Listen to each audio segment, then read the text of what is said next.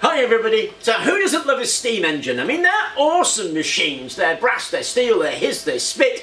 They produce an awful lot of power and they turn a shaft slowly. Of course there's a reason for that. Steam engines were originally developed to pump water from mines and for pumping water that's exactly what you need. They're wonderful things and they are the reason the Industrial Revolution was such a success. Of course, as things developed, they were replaced by petrol, diesel and eventually electric. But old ideas, well, they take a little time to die out. And petrol, diesel, electric, it was the same idea. Get it produce a lot of turning force on a shaft. And of course, this was the idea that governed the motor industry for years. British motorcycles suffered from this. They created engines that had a long stroke, lots of power, slow turning shaft until the Japanese came along and said, hmm, maybe we don't need to do that, maybe we just make a short stroke and make them fast. And of course, that was the death of British motorcycles and the domination of Japanese motorcycles across the world because there are different ways of looking at this. Our way tends to come from steam engines and the Industrial Revolution and we still apply that today. But of course things are changing and if you're keeping up with the cutting edge of stuff, what you'll notice is that this idea of driving a shaft with a lot of torque is dying a death. You see it particularly, again, in motorcycles when you're seeing hubless motors. Motors that are being driven on the rim as opposed to being driven from a hub. And there's been a development of thrusters where you're getting a hubless thruster. And there's an obvious and really good reason for that. I mean, you think about torque. Torque is just a lever that moves in a circle. Because if you've got a lever, what you want is a long lever moving a little bit to lift a heavy weight. If you do it the other way around, you have a short lever, a long bit, well you'd be looking to lift a marble with that. And a wheel, when you're turning a shaft, then you're doing exactly that. You've got a long way to go before you apply your force, so you need a lot of torque on the hub.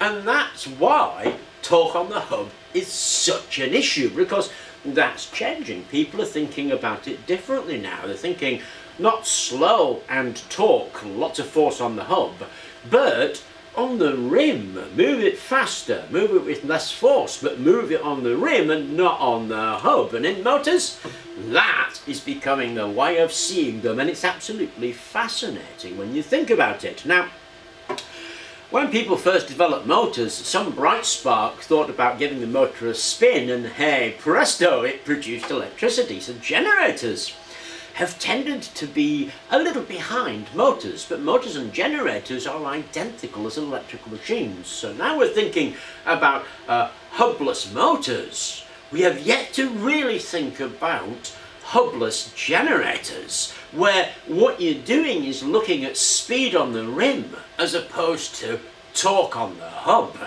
Of course, in theory, generators are just like levers. The principles that describe them are, really quite trivial. When you think about a generator, it's really just amount of wire, strength of field, speed at which it travels. Oh, speed. Interesting. If we can get the coil to travel through the magnetic field, or the magnetic field to travel around the coil quickly, then we'll generate more. Now if we're looking at an axle that we're driving, in order to do that quickly we need more torque, but of course rims turn fast all by themselves. We don't need to think about the same way of doing these things. If we move away from an axle and to the rim, and of course that's exactly what we've been looking at, particularly incidentally when we looked at the feather generator. So this idea of speed at the rim instead of torque at the axle has some serious consequences. I mean, if you want to build a pretty chunky machine you're using torque at the axle, well, you're going to need a pretty chunky axle. And that means expense. It means expensive tools, it means skills, it means lots of materials. With speed at the rim, everything is so much lighter. I mean, we've been involved in this about, I don't know, four years or so, and we've made these kind of generators from bicycle wheels to old bits of plastic. I mean, these days we're doing a fair bit of 3D printing, but we have made these generators by hand. If you review the videos, you'll see that. So the skill requirement, the material requirement, the engineering requirement is very much lower for a machine that will produce about the same. That, to my mind, makes it an ideal machine for anybody who's looking to build a generator at home. There's also an unintended consequence.